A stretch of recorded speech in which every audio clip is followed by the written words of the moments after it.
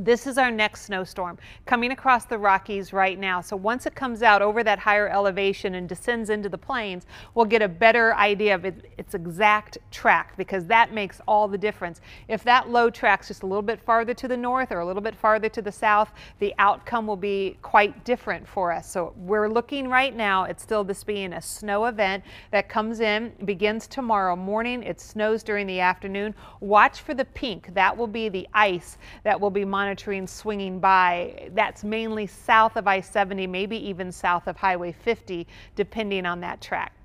Here's the latest snowfall totals that we are anticipating. And it, again, depends. If that low changes its path much at all, these numbers will change. But basically, if you just expect in your mind three inches of snow by Monday afternoon, you'll be pretty close to being on target. There will be a little bit more in the darker shades, three to six inches, maybe two to four south of I-70. And you can see how that bisects the metro area with KCI in the three to six, but downtown downtown Kansas City in the 2 to 4.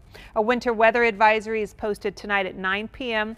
I'm sorry, Sunday morning at 9 a.m. until Monday at 6 p.m. And that's a winter storm watch for central Missouri. The timing of this, early tomorrow morning, it begins as light snow and then a few ice pellets mix in, one to three inches of snow on the ground by tomorrow night. It snows through the night Monday into Monday morning, and by the time the system wraps up, we're looking at a total three to six in northern Kansas City, two to four in southern parts of our viewing area.